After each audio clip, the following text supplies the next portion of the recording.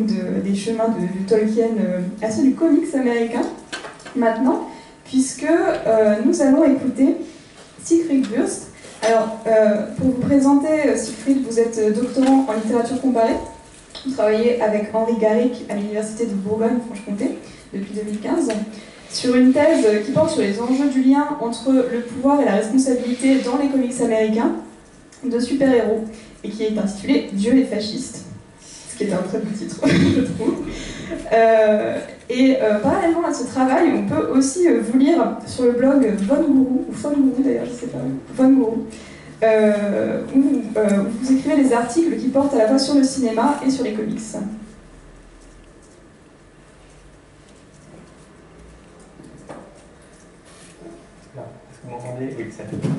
Alors merci d'abord aux organisateurs, déjà de m'avoir invité, et puis ensuite et surtout d'avoir mis en place un colloque au sujet si palpitant et si bienvenu à une époque où on prétend valoriser les, euh, les mauvais genres et où finalement le travail se révèle quand même relativement satisfaisant. Donc euh, il faut continuer comme ça. Et vraiment merci de, de cette idée assez formidable. Alors, les schtroumpfs sont une métaphore avantageuse du collectivisme. Harry Potter représente l'invisibilisation des communautés non sexuelles. Tintin constitue une incarnation du colonialisme raciste d'Hergé de son temps. Les robots de Transformers soulignent la difficile intégration des latino-américains aux États-Unis. Sous prétexte d'une valorisation des productions culturelles dites populaires ou mineures, nous avons eu droit aux analyses les plus inattendues. Cette propension à décoder les structures et sous-textes sociaux, économiques, politiques d'un objet culturel, pour stimulante qu'elle soit, est naturellement d'autant plus risquée que celui-ci semble ne pas s'y prêter qu'il participe d'une logique de production, habituellement étrangère à des analyses aussi approfondies. Le risque de la surinterprétation est ainsi une épée de Damoclès de l'exégèse fictionnelle, particulièrement dans le cas de fiction populaire, où la volonté de tenir un discours politique complexe est généralement la moins affirmée. Pas inexistante, simplement moins affirmée. Donc, à moins de faire une devise de la platitude tout est politique, l'interprétation politique de telles œuvres de fiction doit donc être faite avec précaution. Et il semblerait, à première vue, que le comique super-héroïque fasse partie de ces objets indignes auxquels on ne saurait vouer un travail universitaire qu'en acceptant de les distordre et leur faire dire ce que l'on souhaite, en ignorant la réversibilité des arguments émis.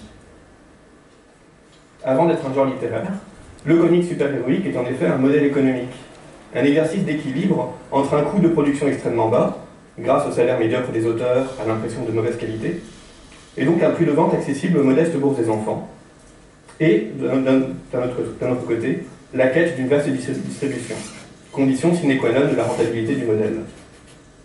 On ne s'encombre donc pas, à la fin des années 30, de discours artistiques sur le monde. L'éditeur ne peut pas prendre le risque de la profondeur, le lectorat ne s'y prête pas, et l'auteur n'a pas le temps, les moyens, et donc souvent la motivation pour expérimenter, malgré sa, sa culture et son inventivité. La vocation didactique du super-héros devient cependant une évidence avec la Seconde Guerre mondiale.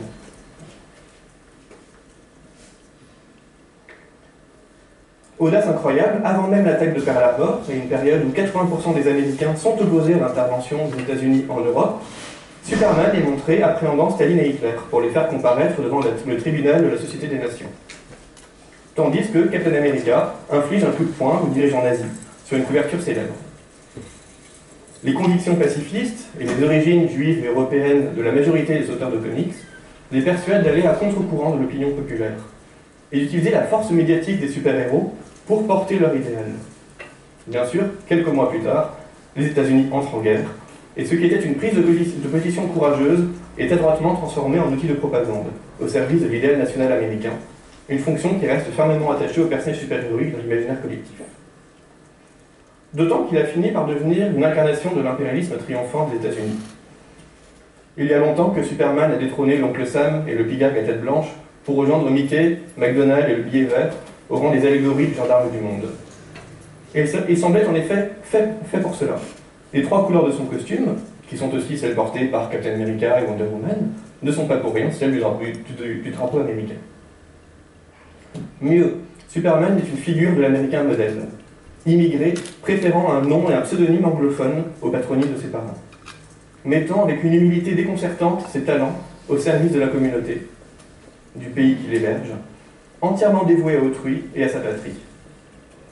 Le premier super-héros avait proprement dessiné un sillon d'exemplarité morale qui allait définir le super-héroïsme, et on ne s'étonne pas dès lors, à travers les décennies, de voir les super-héros rencontrer les présidents, de Roosevelt à Obama. D'apprendre que l'administration Kennedy avait même commandé à DC Comics une aventure prônant les mérites de l'exercice physique. Bref, de constater la bonne entente qu'ils ont avec les piliers de la société. S'ils sont patriotes par leur amour des valeurs revendiquées par la Constitution, ils le sont aussi dans le conservatisme inhérent à leur action. Les années 30 aux années 1980, il leur arrive plus souvent de récupérer des chats dans les arbres que de s'opposer à un ordre émanant du gouvernement. L'essentiel de leur prouesse consistant à maintenir les choses telles qu'elles sont. Défenseurs de l'ordre, ils empêchent les bandits de braquer les banques sans s'interroger sur l'inégale répartition des, recherches, des richesses. Disciples des complots mettant l'État en péril et qui ne sont heureusement orchestrés que par des nazis ou des agents du désordre sans aucune motivation que leur propre égoïsme. Ils arrêtent des politiciens corrompus, de seconde zone, comme si la, corruption était le fait d'un criminel seul, et que d'un seul coup de poing bien administré, on pouvait y mettre fin. Ce conservatisme super-héroïque peut apparaître comme une nécessité diégétique. Si le super-héros modifie la structure politique et économique de son pays ou du monde, les lecteurs ne se reconnaîtraient plus dans la nouvelle société dans laquelle il évoluerait. Il pose pourtant problème, en ce que l'innocuité d'un personnage comme le super-héros n'est pas possible, en particulier dans le cas des super-héros presque omnipotents.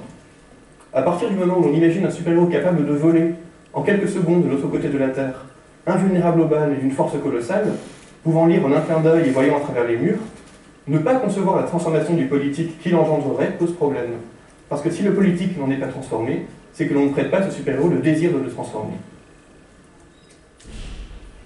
Même quand, dans une célèbre aventure de 1972, Superman commence à comprendre que par sa bienveillance, il déresponsabilise les êtres humains, trop habitués à se reposer sur lui, et freine ainsi le progrès social de l'espèce par, ses interventions extérieures, les auteurs sont si dépassés par leur propre audace réflexive qu'ils concluent paresseusement l'aventure, en montrant des gardiens satisfaits d'avoir fait germer cette prise de conscience, sans en prendre autrement acte. Cette histoire ne s'inscrivant dans aucun run, c'est-à-dire dans aucune succession diégétique d'aventures, les auteurs des comics suivants n'avaient même pas à en tenir compte, effectivement, n'en tiennent pas compte. On touche là à quelque chose de plus profond que la gentille acuité de personnages kitsch que l'on habille de lycra pour amuser les enfants. Le super-héros n'est pas un personnage du KPDP, il n'est pas un personnage de Maurice Leblanc, de Sylvestre Alain, de Feuillade, bien qu'il en soit l'héritier évident. Je ne veux surtout pas dire que ces personnages, les personnages que cités, ne se prêtent pas à une lecture politique, mais deux facteurs en distinguent nettement le super-héros et ce qu'il incarne. D'abord, le super-héros est d'emblée politique, en ce qu'il est défini par sa, capacité, bien plus étendue que celle de citoyens ordinaires ou des personnages des fictions populaires, à modifier profondément le réel. Ensuite, parce qu'il est américain, et que les Américains ont un respect des institutions étatiques bien plus ancré que ce que l'on peut imaginer dans un pays où la moitié des candidats à la dernière présidentielle évoquaient une nouvelle constitution. L'impression de stabilité qui se dégage de leur système, essentiellement depuis la présidence de Lincoln et malgré la parenté du Watergate, la fierté d'avoir rédigé eux-mêmes une constitution qui est toujours appliquée après 250 ans, sont les porteurs d'un conservatisme structurel et d'une haute idée de la patrie que l'on peine à imaginer en France, et qui se retrouve dans le personnage endémique du super-héros. On pourrait alors être tenté, comme certains critiques, de rappeler que plusieurs super-héros sont extrêmement riches. Batman, Iron Man, Green Arrow sont tous multimillionnaires. Et donc de sauter le pas déterminant de lier leur conservatisme politique à un conservatisme social, destiné à protéger leur possession, un système qui leur est favorable financièrement. Le conservatisme super-héroïque correspondrait alors à la peur d'une classe réactionnaire de perdre ses prérogatives, sur le plan matériel ou sur le plan métaphorique. Donc je ne souscris pas du tout à cette hypothèse, bien qu'elle soit intéressante. Alors que je plaçais les précédents arguments sur le plan des représentations, en estimant que le conservatisme des super-héros était inconscient, et existait même souvent à l'insulte des auteurs eux-mêmes, on se déplace ici sur le plan de la psychologie super-héroïque. Or, il me paraît évident que le super-héros serait, au niveau social, plus proche d'un libéralisme progressiste que d'un conservatisme républicain, et aurait voté plutôt pour Bernie Sanders, voire Obama ou Kennedy, que pour Trump, Bush, Reagan ou Nixon. Il n'est pas anodin que les auteurs imaginent plus souvent la rencontre des super-héros avec des présidents réels démocrates, ou que le soutien de Bruce Wayne au procureur Harvey Dent manifeste leur espérance d'un nouveau monde. Le sel de la chose vient précisément du fait que le super-héros ne soit pas conscient de ses propres blocages, et qu'il ne se pose pas de questions parce que, jusque dans les années 80 à peu près, le comic super-héroïque est un médium qui excite la fibre patriotique, et qui rassure, un médium qui prône la vérité, la justice et le mode de vie américain, c'est même la devise de Superman, un médium qui n'a pas trop intérêt à faire changer les choses. La bien-pensance conventionnelle et paresseuse du comic super-héroïque a été largement, largement favorisée par le Comic Code, qui est donc une règle de bonne conduite établie en 1954 par des éditeurs de comics, préférant s'auto-censurer que laisser le gouvernement les censurer. Suite à la croisade menée par le pédopsychiatre Frédéric Vertal contre la prétendue immoralité des super-héros, de nombreux parents avaient en effet cru à la, dangerosité des comics.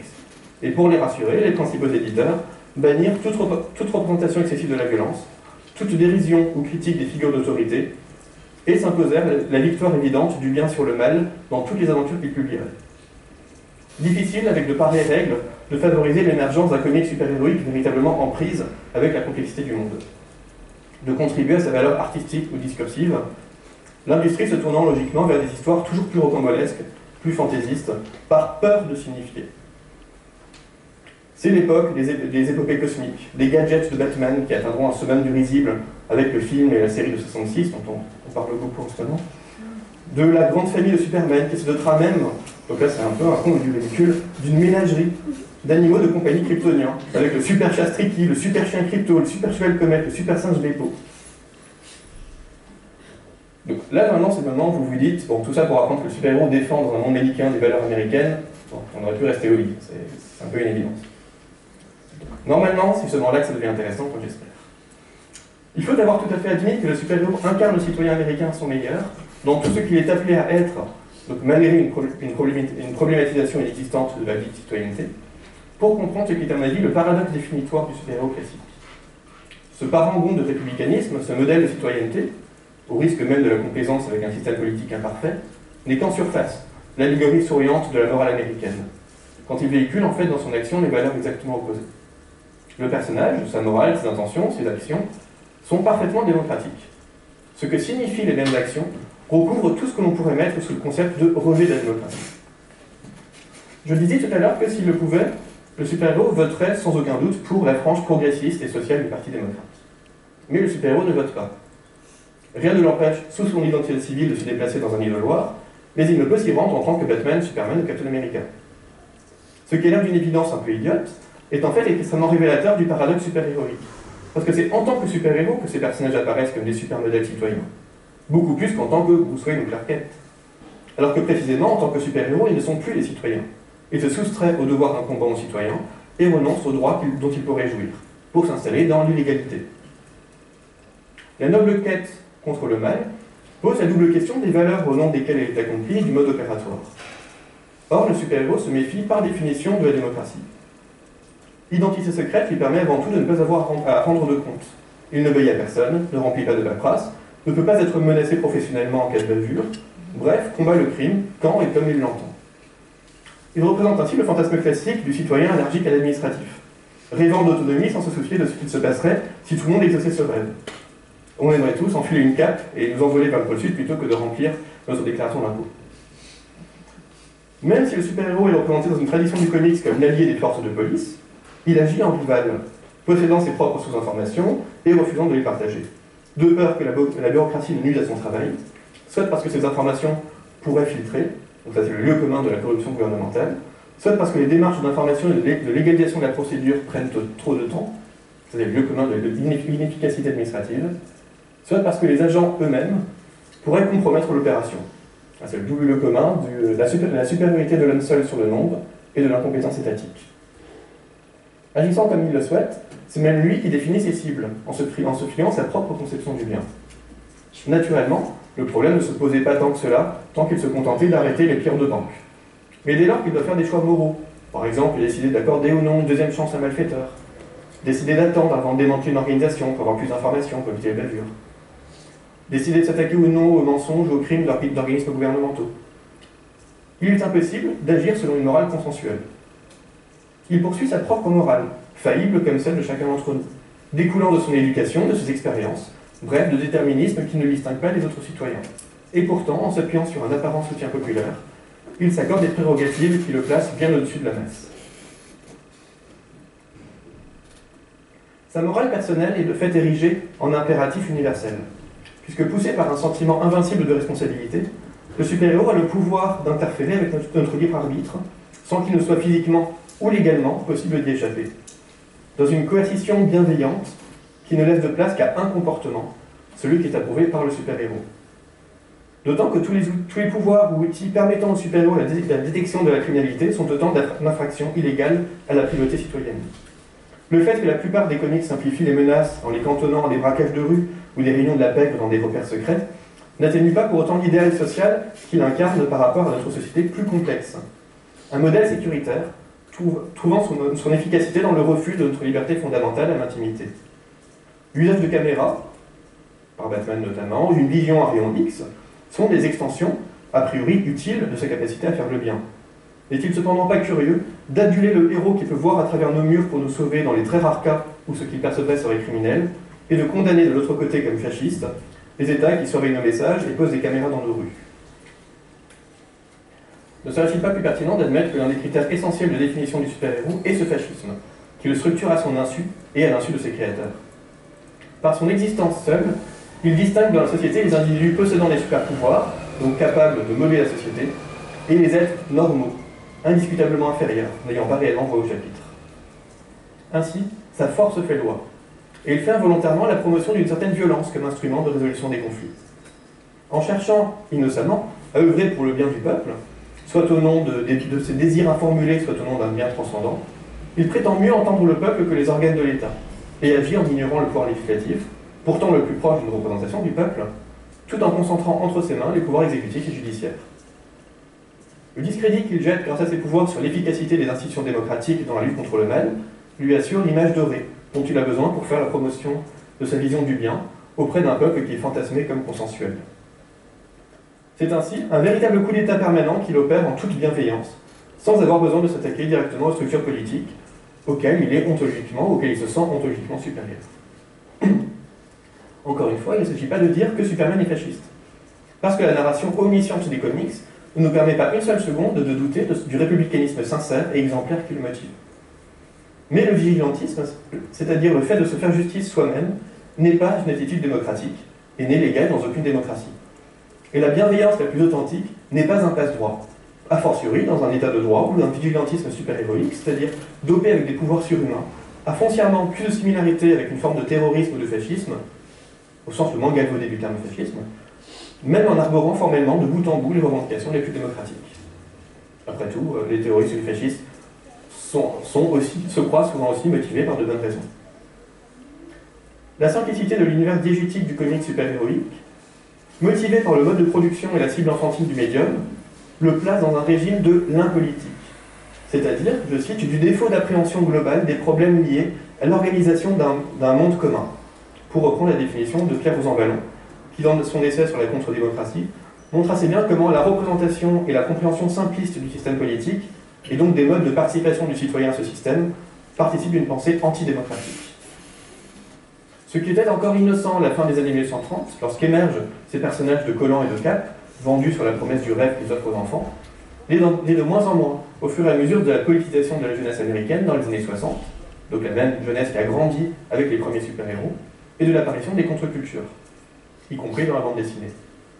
La rigidité simpliste du comics, qui peine à évoluer avec son temps, finit par la rendre complice d'un conservatisme qu'il défend en idéalisant la société. Le salut du super-héros vient de ce que le fascisme duquel ce type de personnage participe malgré lui n'a pas à déteindre sur le médium. Tant que le comics épouse le point de vue du super-héros et vante sa morale, il adhère au paradoxe un peu malsain que je viens d'exposer à grands traits. Mais le comics peut se désolidariser du personnage. Et quelques timides tentatives dans les années 70 vont donner l'impression que l'on passe à un nouvel âge du comics, de l'âge d'argent à l'âge de bronze. En 1971, Green Arrow découvre que son pupille, le super-héros Speedy, se drogue. En 1973, Spider-Man échoue à sauver Gwen Stacy, et même responsable de sa mort, Le super-héros s'humanise en se montrant plus faillible, ce qui est une manière de booster les ventes tout en modernisant le comics auquel on tente de donner une meilleure prise sur la complexité du réel. Il faudra cependant attendre les années 1980 pour que cette maturation passe par une politisation. Cela peut paraître difficile à croire aujourd'hui, mais à l'époque, les super-héros ne vendent plus. Et les audaces de ces années-là peuvent apparaître aussi comme d'ultimes expérimentations pour relancer un genre qui est à l'agonie.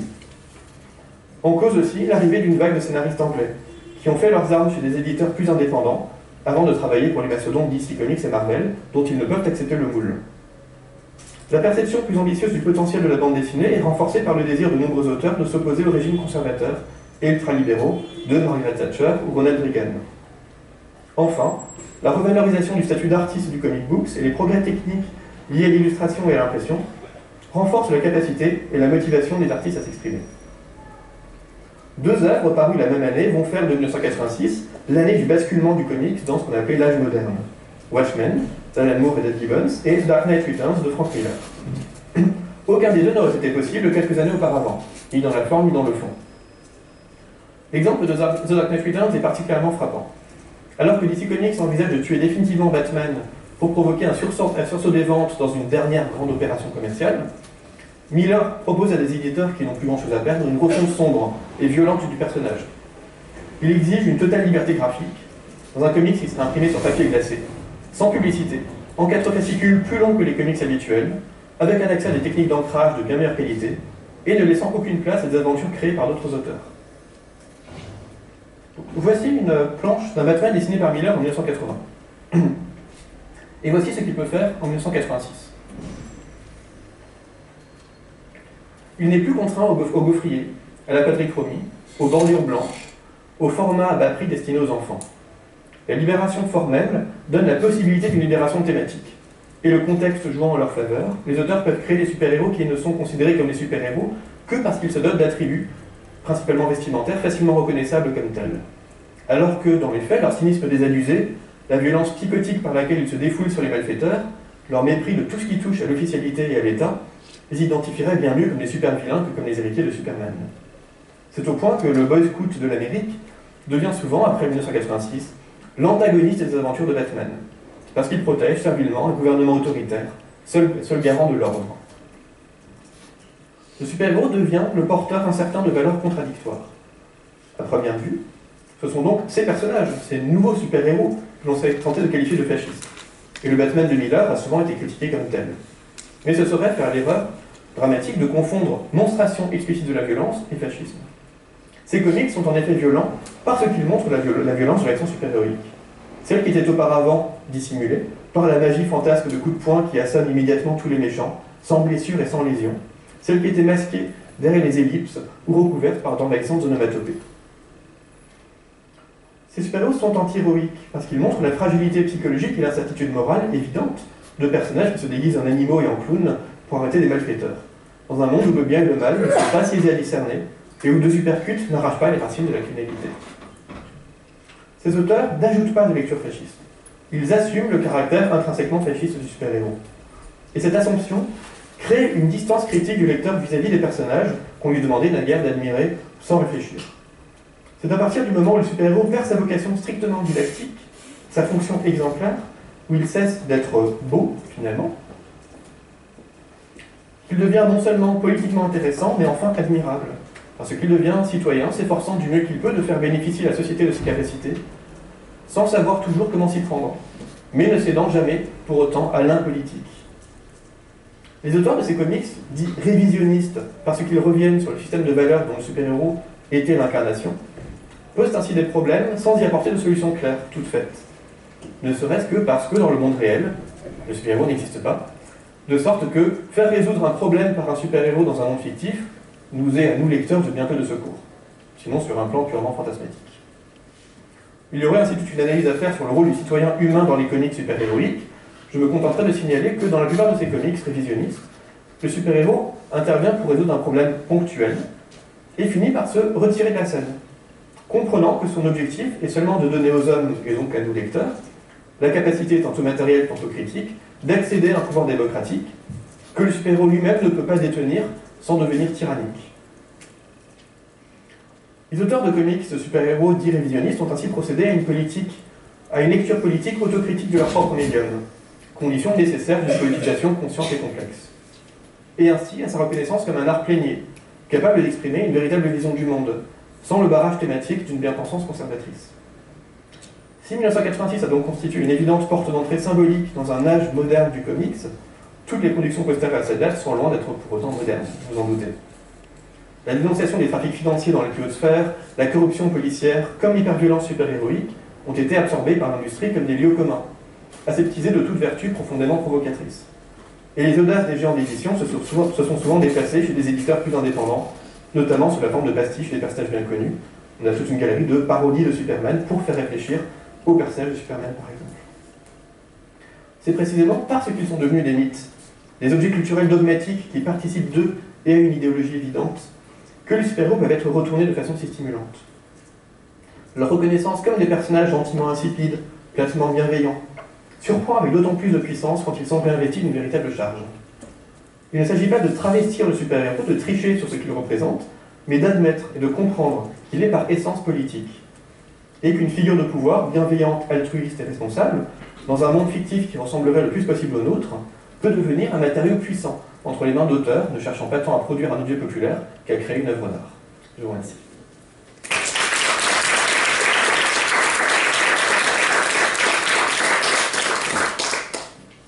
Merci beaucoup Siegfried Wurtz pour cette euh, communication. Alors on passe tout de suite aux questions. Est-ce que vous avez des questions en public? Alors pendant les questions, je vais afficher les, titres de quelques comics et emprunter des chemins de traverse pour remettre mes liens sur le droit chemin. Et en grâce mes préférences personnelles. Alors euh, bonjour. Euh, c'était juste pour revenir donc, sur, le, sur le, fameux couple Miller-Moore. Est-ce qu'on peut pas dire quand même que ben, après, c'est toujours en sachant ce que dit par ailleurs Miller politiquement et Moore politiquement, qu'ils sont aussi clairement opposés. Et que, euh, que voilà, moi aussi, euh, à un moment, je me disais que Miller c'était ironique, c'est-à-dire qu'il il en faisait tellement trop que c'était pour déconstruire les figures héroïques, tout ça. En fait, est-ce que c'est pas juste ça une vision de, lecteur? Mais euh, de la part du créateur lui-même, il n'y a pas du tout d'ironie, quoi. Si on, si on voit son discours par ailleurs, qui est lui plutôt ouvertement fasciste, c'est assez intéressant ce que vous dites sur le fait que, autant avant, euh, les, dessinateurs ne se rendaient pas compte qu'il y avait du fascisme, autant il y a comme une sorte de retour du, refoulé chez Miller. Et est-ce que, voilà, euh, même si c'est euh, quelque chose de. Enfin, même si c'est important, le Batman de, Miller, est-ce que finalement, il n'y a pas un aveuglement, c'est-à-dire de, croire que de croire qu'il y a une ironie, il y a une déconstruction euh, chez Miller, alors qu'en fait, et on le voit de plus en plus euh, au fur et à mesure de sa carrière, voilà, c'est un peu plus compliqué euh, politiquement.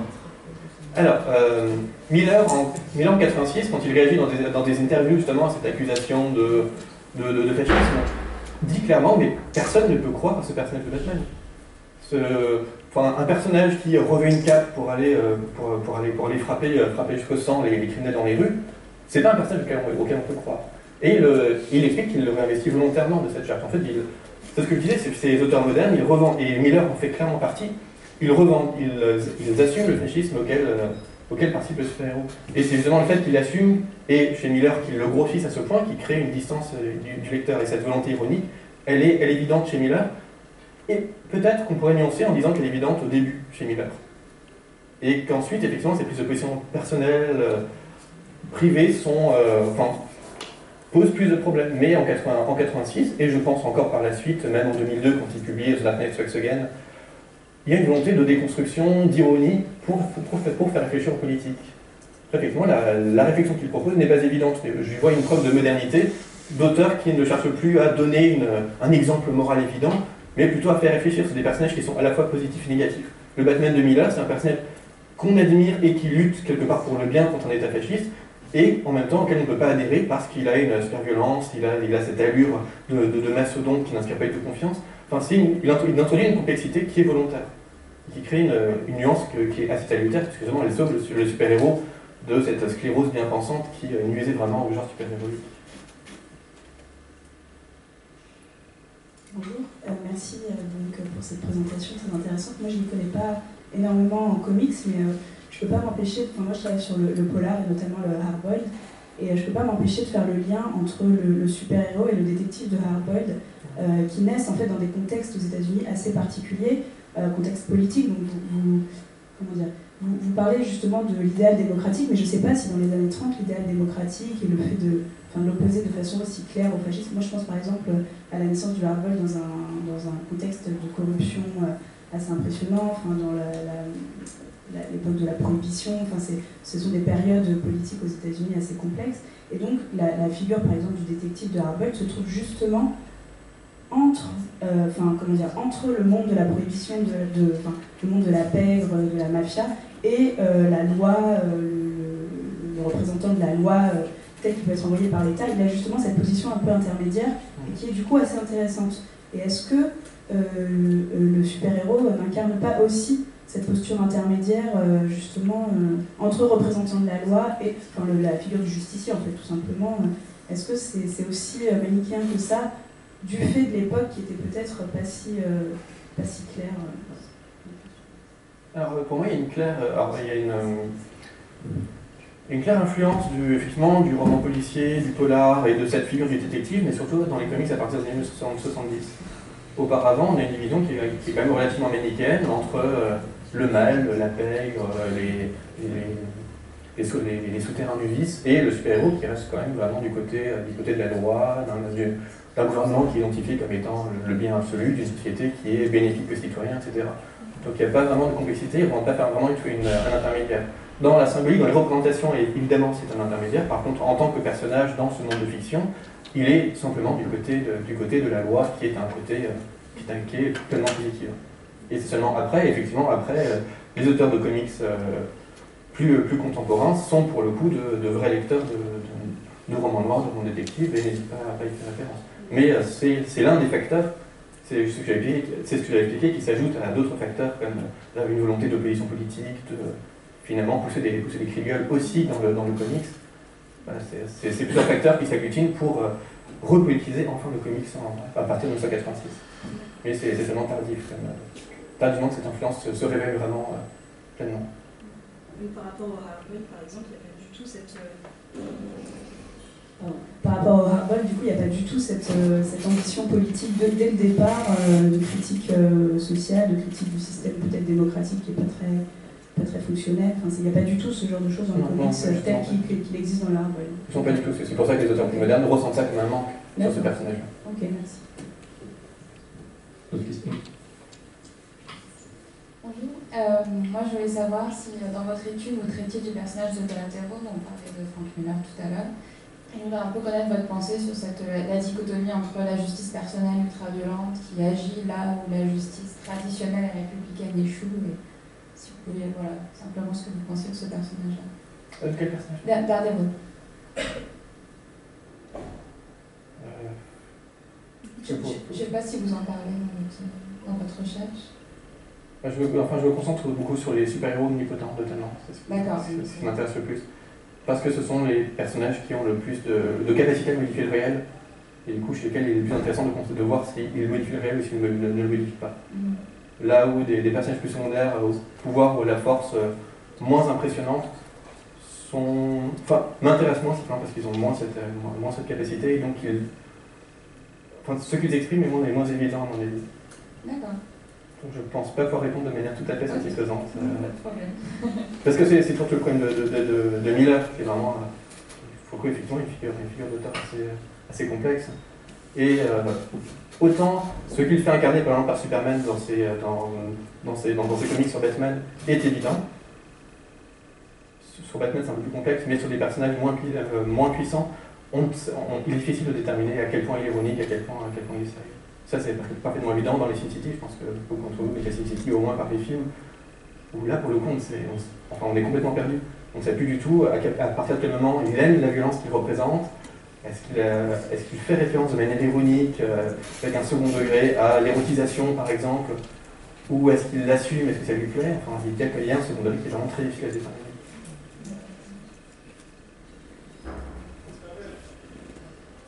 Question?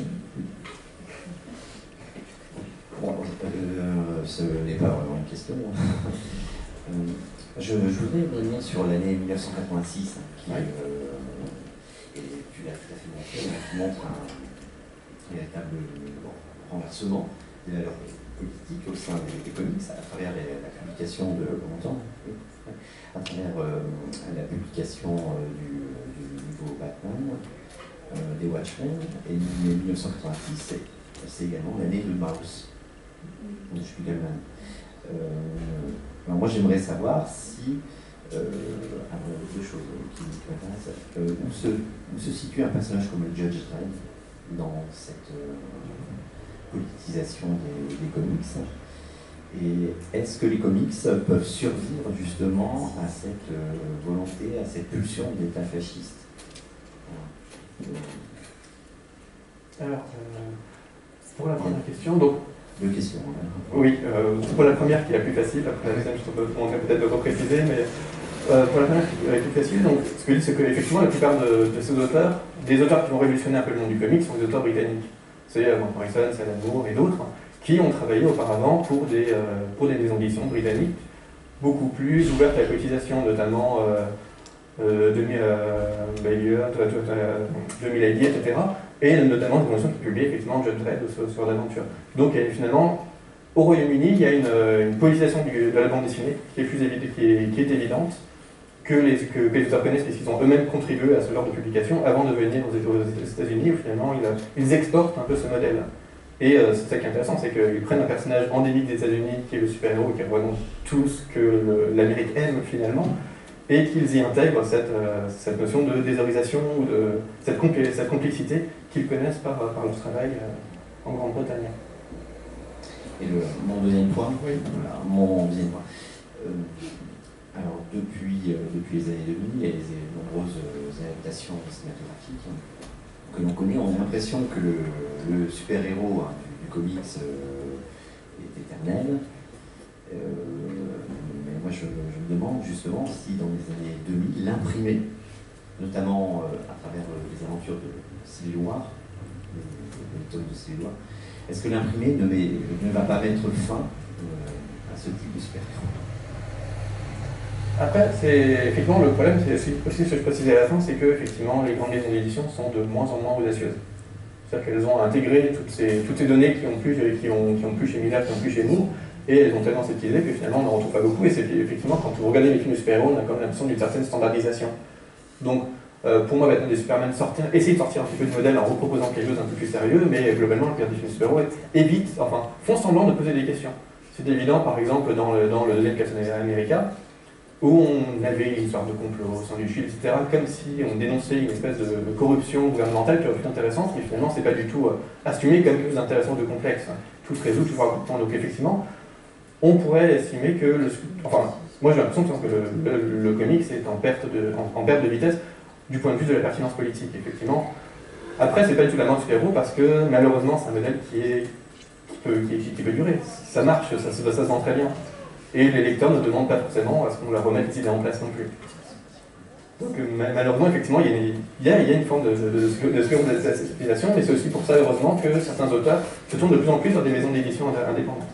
L'un des exemples les plus frappants, je pense, c'est euh, Garth Ennis, qui avait publié euh, Preacher chez Vertigo, donc un label de DC Comics, et qui était un comics pour le coup, euh, tout ce qu'on peut imaginer de glace notoire, d'images choquantes, de sexe, de violence, était présent dans Preacher, donc pourtant il était par une grande maison d'édition, qui ensuite a voulu faire la même chose avec The Boys, qui est un comics le- où il reporte les mêmes sujets, mais dans le domaine super-héroïque, et DC Comics leur a dit non, on ne peut pas. Même, euh, même chez Vertigo, qui est le label adulte de, de DC Comics, on ne peut pas publier quelque chose qui remette à ce point en cause l'image du super-héros.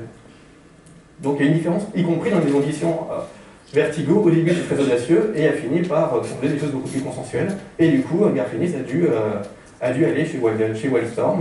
Donc il y a une vitalité aussi des maisons d'édition grâce à ça.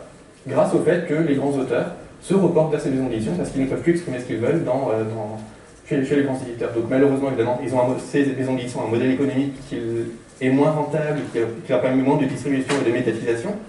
Donc c'est aussi des maisons d'édition, qui, peinent à connaître des adaptations et donc à être popularisées. Mais euh, elles ont ce mérite d'exister de revitaliser la figure de super-héros, qui fonctionne d'ailleurs, puisque euh, par exemple, euh, Preacher été adapté en série, c'est pas extraordinaire, mais ça, ça, vaut le détour quand même. Et les mêmes qui ont adapté Preacher ont prévu d'adapter ensuite The Boys. Donc est-ce que ça peut être fait? C'est à voir. Mais en tout cas, il y a une volonté quand même de sortir de ces, euh, à la fois des grands studios et, euh, des grandes maisons d'édition. Et euh, dans ce modèle-là, je pense qu'on peut atteindre quelque chose d'artistique et donc une espèce d'intemporalité. euh, On peut refaire quelque chose qui est intéressant.